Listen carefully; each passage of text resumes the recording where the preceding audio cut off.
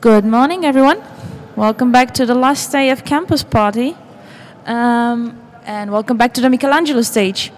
Our next two sessions, the, the morning will be more or less um, dedicated towards design topics. And our first presenter is um, Neil Meka. He's Australian, but lives and works here now in Berlin and runs the Runim Performance Company, which is an automotive, automotive design consultancy. So he will give us a quite brief overview of computer technology and its use for automotive design. Stage is yours. Thank you.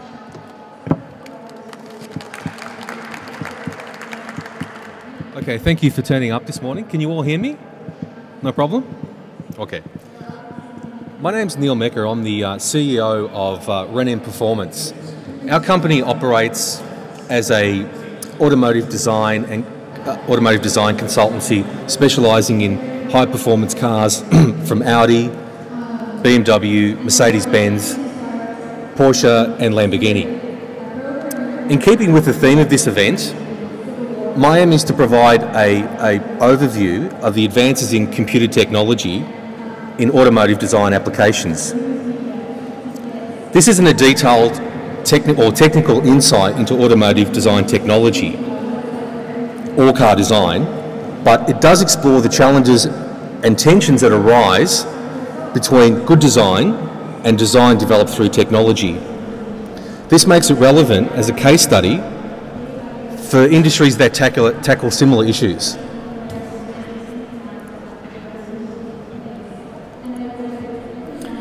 Europe is the place where the car was first invented, and until World War I, most manufacturers were concerned with mechanical reliability rather than external appearance of car. Later, aesthetics became part of the automotive development process. Designs from each, each nation also had their own cultural identity, reflected in their exterior and interior designs. World War II slowed this progress, but after the early 1950s, European designers set the trend and remained the driving force for many decades. While car design is a creative process, it also relies on a range of analytical processes. Car designers use a variety of, of design methods as part of the creative process. Processes that are commonly used are user research, sketching, comparative product research, and, and model making, prototyping, and testing. These processes are defined and determined by the designers, together with interrelated teams of specialists. The use of designers in the automotive development process also leads to added values through improved usability and more appealing vehicles. Some classic car designs are considered much as works of art as works of engineering. The 1938 VW Beetle, the 1970 Lamborghini Miura, which you're looking at right now, followed by Mar Marcello Gandini's masterpiece, the 1974 Lamborghini Countach, are noteworthy examples. And that's the one you're looking at right now.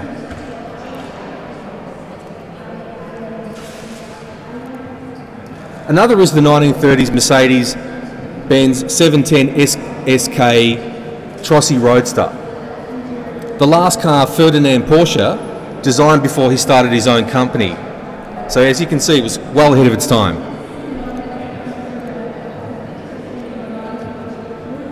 Ferdinand Alexander Porsche, the grandson of the founder of Porsche, was a revolutionary German automotive designer. And amongst other things, he designed the original and iconic Porsche 911. His father, Ferry Porsche, was responsible for designing its predecessor, the Porsche 356, which is the car you're looking at again right now.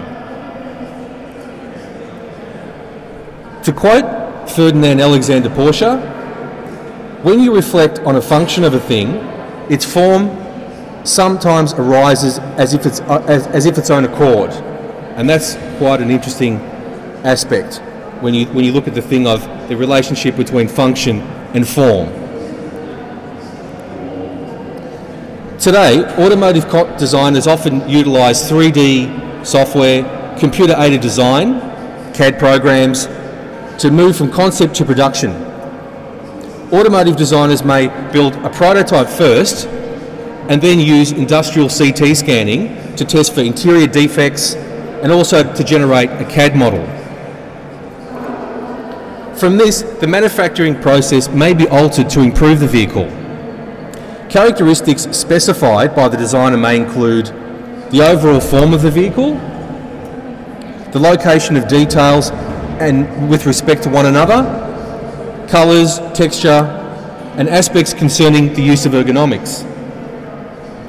The car designer may also specify aspects concerning the production process, choice of materials, even the way the car is presented to the consumer. In addition to considering aesthetics, usability and ergonomics, it can also encompass the engineering of objects, usefulness as well as usability, market placement and other aspects such as seduction, psychology, desire and the emotional attachment the user has to the object. These values and accompanying aspects on which design is based can vary, both between different schools of thought and amongst practicing designers. Making form is what designers strive for, and car designers have a love of making shapes and forms. Making form is, is the serious part of a job of a designer, and one that should not be left to the dictation of a function. Form follows function. Making form is about giving a visual sense of character to, a, to the product, of its story, beginning, and to make it soul. From this perspective, cars become art. Cars reflect who we are. At one time, all cars were designed on paper. Some of the greatest cars were designed this way. Each, each car begins with a single line said Mandi- Marcello Gandini, designer of the Lamborghini Countach. By the end of the last century, paper seemed to be losing the battle against technology.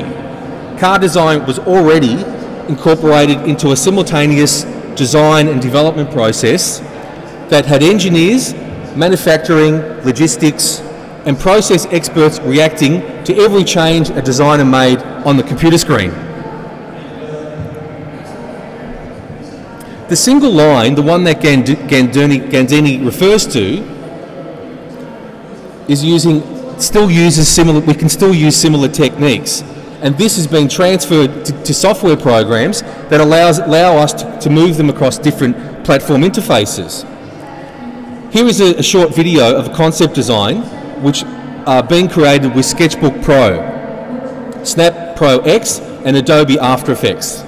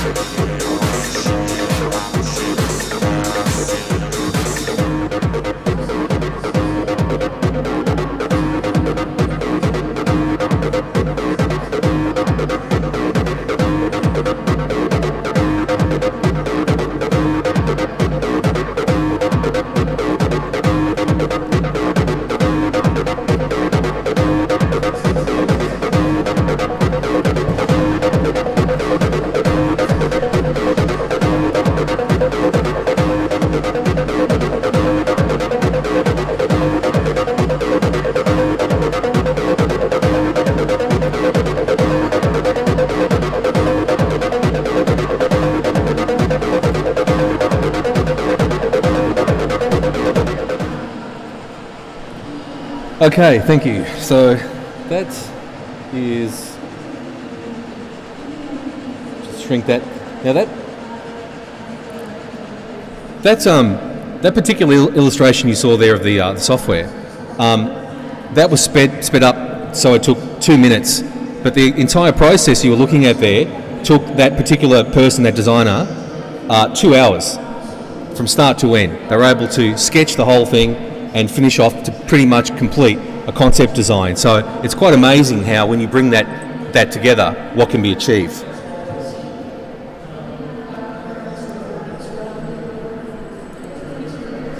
Okay. So with car making heading uh, inexorably towards digitisation, a plethora of three-letter acronyms has entered the world of car design computer aided design, CAD, computer aided manufacturing, CAM, finite element analysis, FEA, and computational fluid dynamics, CFD, have all become part of the designer's toolkit. These ideas and the software have been imported directly from the aeronautical design world. The, the advantages are obvious get the entire vehicle development team working on a new car all at the same time, and new models get to the market much quicker. Powerful software tools such as Autodesk and Alias has allowed designers to put their ideas straight into digital language and then into milled shapes. And here's another video that demonstrates what can be done in Autodesk.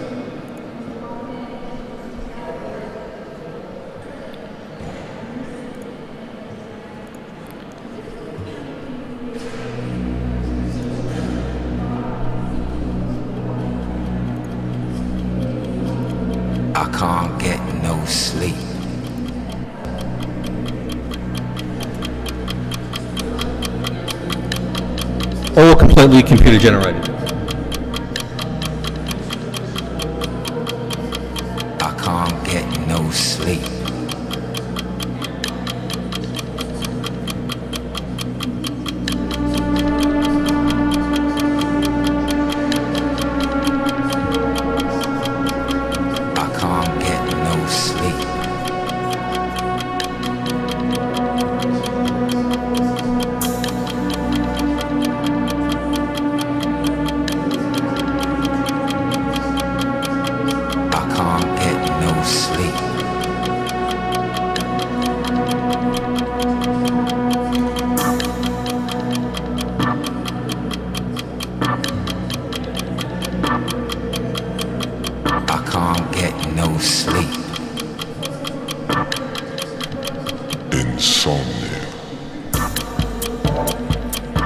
See, very realistic.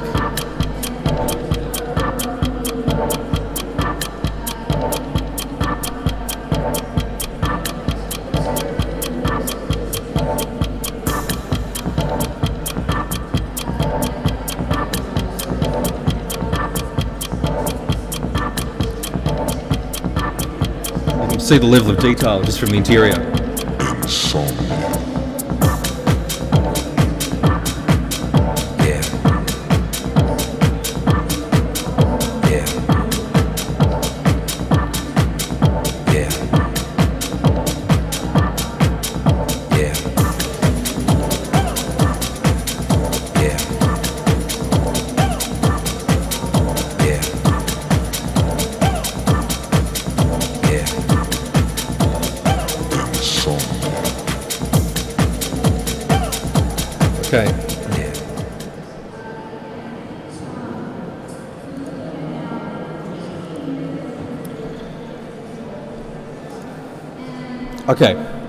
However, creating cars this way can have its drawbacks, particularly when designed and developed using computer, computerized rapid prototyping or visualization tools.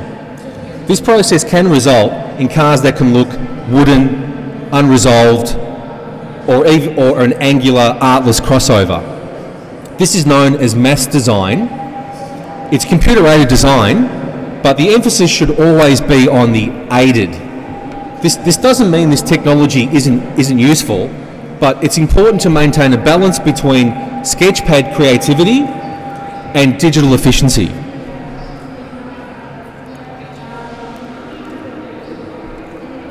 An, in- an interaction of two-dimensional design and three-dimensional modelling to, to give us a digital design does provide an opportunity to remodel and refine ideas. That 3D data is also useful for, the man- for manufacturing engineers, including surface line departments, to determine the specification of tools that need to be created to actually produce the car. What the data isn't very good at is communicating a design language. An example is the, is the GINA concept, which you're looking at on the screen right now. BMW experimented with a flexible skin during the development of the BMW Z4. This explores another philosophy of design, where material language can create its own shape, questioning aspects of shape definition. So if the materials that make the shape are different, for example, hard metal to cloth, we can discover different types of shape and material form. The shapes, forms and angles that emerge through this process were incorporated into the structural elements of the final design. And here is, a, here is another short video to illustrate what I'm talking about.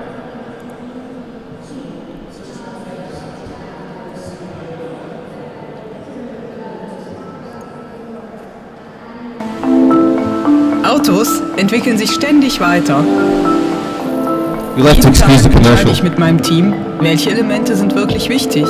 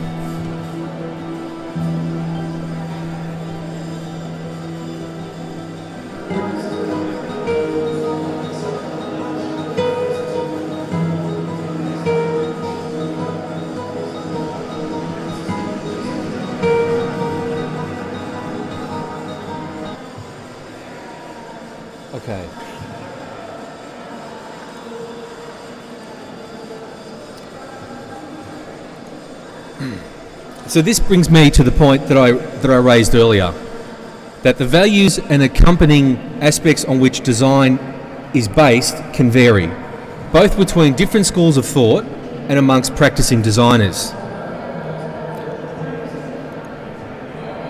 For instance, from a design perspective, some people argue that sports and supercars reached their pinnacle in the 1960s. Supercars had achieved optimal aerodynamic efficiency while expressing a timeless elegance in their form. To look at, they sent a very clear message. Two examples from the late 60s include the Porsche 917, which you're looking at right now, and the one previous to this, which was the Ford GT.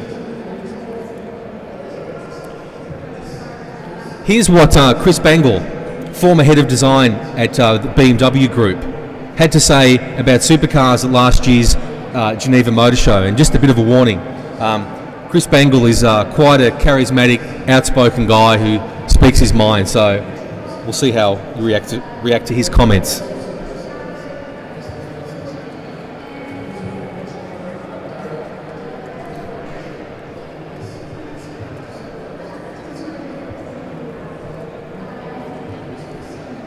Well, I'm kind of old school on supercars. You know, if they're if they're not something that just you know knocks your balls off, you know, they're nice cars. Wow, they go fast too. You know, the world needs another one. Oh, that's good. I'd like to see some design innovation come through if they're not going to be politically incorrect. They're going to be politically incorrect and define some new limits of political correctness, then I say fine. Then you're a supercar. You know, that's how they should be. You just look at it and go, ah, so you know, that's a supercar. And it's been quite a while since you know one's hit me like that. But if they're just going to be fast, then they have to have, to me, they have to have something more. You know, really fast cars. You know, fast. The look of fast. Porsche 917, GT40. You know, they did that like what is that, 30 years ago, maybe a bit more. Okay, so that kind of look of fast, which has a lot of aerodynamics in it and everything like that, that's been around for a long time, right? I'd like to see a bit more story come out of these things, a bit more narrative. You know, what, what else can there be in this car that tells me this is the ultimate? Like, it doesn't get any more than this. Like those eight pillars?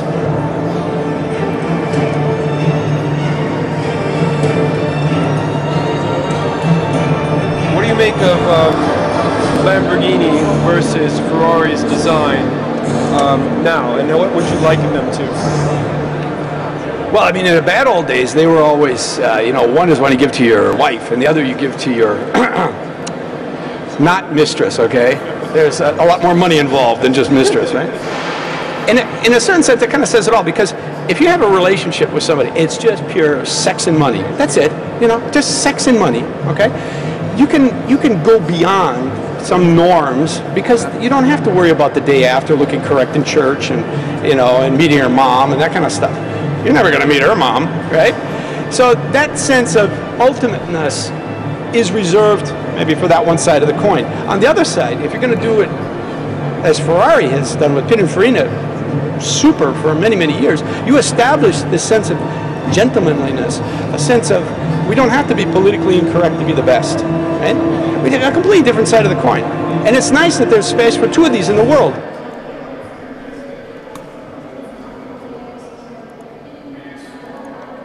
Okay, so that's that's the point that uh, good point that Chris Bangle raised about the differences in de- design language between um, some of the particular cars and some of the issues that of saying that aerodynamic efficiency had, had, had reached its pinnacle already, but cars the, the language of cars have to be redefined, and he was obviously talking about when he was asked about the difference between car companies like Ferrari and Lamborghini. He was talking how one is a much more extreme version where one, one more or less relies on tradition, which is reflected in the design language of these companies. These, these days, manufacturers of, of sports cars and supercars have to challenge themselves and express a design language that does embody many different things. But ultimately, they express the values of the companies and, the, and their designers. This is one of our this is one of our designs here. It's the it's the Lamborghini's latest supercar, the Aventador. The and this is our limited edition Corsa. Um, we've taken the form of this car, particularly its unique wedge-shaped design, and transformed these elements while creating additional contrast and features. Some car companies place greater reliance on computer-aided technology to, de- to determine their designs. For example, the latest supercar that you can see here, the McLaren, the MP412C, has design features that are more dictated by function. Put, techni- put technically, computational analysis of optimal aerodynamic efficiency. The- as you can see, the front grille and the air intakes is, are, are completely designed through computer analysis. Even, even the name of the car, the MP4-12C, seems computer generated. Whether the car exudes the emotion and unmistakable purpose, the human factor, something special and unique, that, that's something you can decide for yourself. So on that on that note, I'll close by saying paper and pencil are still at the heart of the design process, aided rather than dominated by computers. Thank you.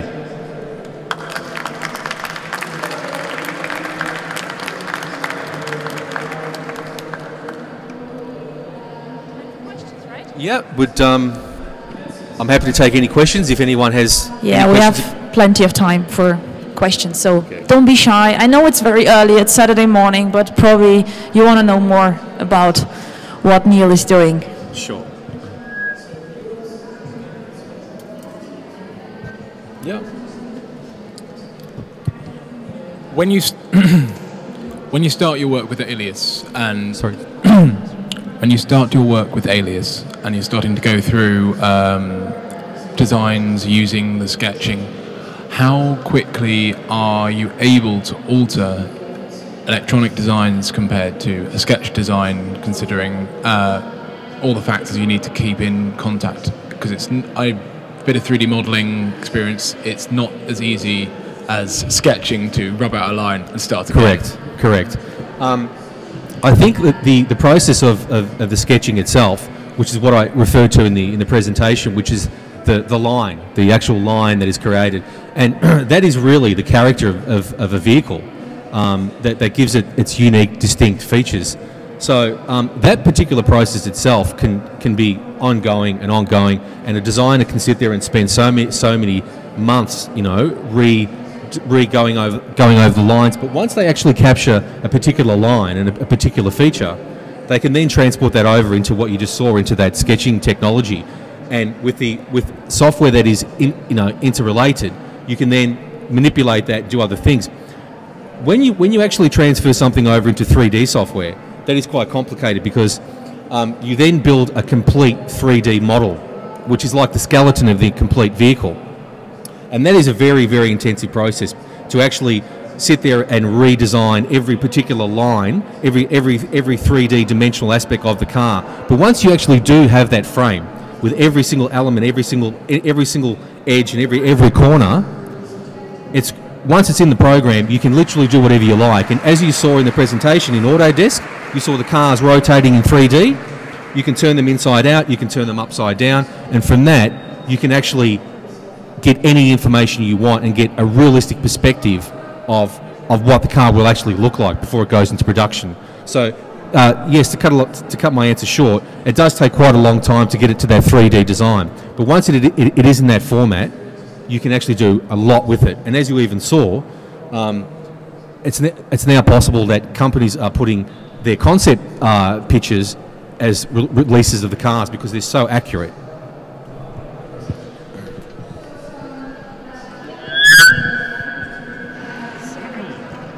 Morning.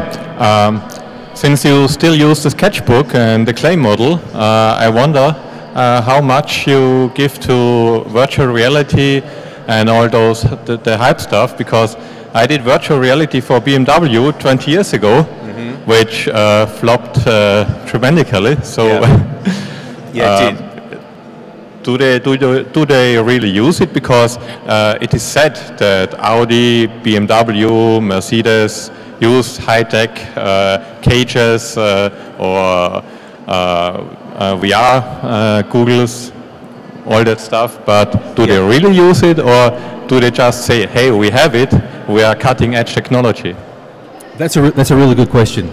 Um, what they actually do is there are particular studios who, uh, some of them are based in the, in the United States um, that have like uh, high scale 3D design, projection uh, 3D layout in their studios. They're also available in Europe as well. So what you're seeing is when you have some of these 3D visualizations, they now can project them into a room. So what happens is, for example, if there's a meeting with the, the BMW group, if there's a new model they've designed, they can walk into this studio and actually walk around and, and sit there and, and, and look at the car from every angle, walk around it. So they actually do have that technology now. And, and that is, some, some companies probably use it more than others. Um, some of them see it as a way of getting a, a very good perspective. But in, consistent with what I said in some of my points in my presentation, there is always a difference between what you what you see that is computer generated, even if it's very close, you know, and even if you can walk around it and you can look underneath the car and you can you can see inside what the interior looks like. We you know we we are at that stage where we can walk around a car from a 3D perspective. It's quite amazing, but I think you always need to balance all those elements of what something actually looks like in real life. Will it, will a, will a 3D generated um, perspective get, show you what you know uh, the emotional factor of that car is? You know that's only something that you, you you're going to, to, to see or react to when something is in front of you. You know, so yes, it, it- to answer your question, it definitely is possible, and it is happening. And, and some some car manufacturers use it more than others, but you definitely can walk into a studio and have a complete um, 3D perspective of a car, and you can actually walk in when it's driving around the street and see it, and you can walk. It's just it's really so we are at that point right now. It's quite interesting. So the, the point is, uh, are they, the manufacturers, the, the people like you, really using these tools, or is it just a management perk to show the management off, hey, look at that? Well, that's you know I think you've answered some of the question. Um, I think some of them will, will look at it from a perspective of saying this is a really good way for us to determine that the design is actually perfect and it works well. Whereas some of them have to, for example, they've spent three years working on a, on a particular model prototype. A lot of work, a lot of teams have put a lot of effort into this thing, and they have to get the senior executive to sign off to, to produce this car. So um, it's like anything. If you want, if you want to make a big impression and you want to get the project to go through, take them into a 3D studio and dazzle them with this amazing car. You know, where they can sit there and watch you taking corners and, and doing all sorts of things. So I think it's an element of both. I think it's an element of um, having the ability to see what this thing really looks like close up, but also to help promote uh, a vehicle before it actually is launched. Because to launch a concept costs millions and billions. You know, so so yes, I think it does a, a combination of both. Um, in the future, who knows how much more we will rely on that sort of um, 3D technology for, for displaying cars. Another question?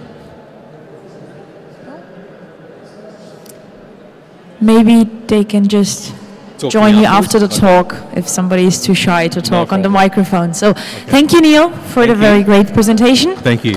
Thank you all for coming and listening. Thank you.